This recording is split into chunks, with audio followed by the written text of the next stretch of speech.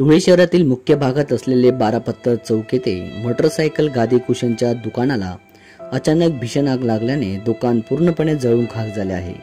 आग इतकी भीषण होती की बाजूच्या दुकान आणि देखील पेट घेतला आहे. या आगीमुळे परिसरात एकच खळबळ उडाली आहे.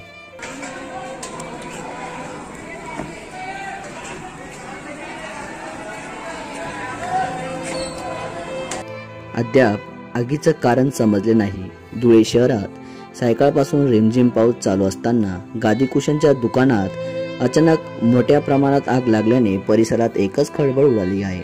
परिसरातील नगरसेवक वसीम बारी यांनी धुळे मनपा अग्निशामक विभागाकडे संपर्क साधला असता काही मिनिटातच घटनास्थळी मनपा अग्निशामक बंब पोहोचले व परिसरातील युवकांच्या मदतीने आणि धुळे शहर पोलिसांच्या मदतीने ती आग आटोक्यात आणण्यात आली.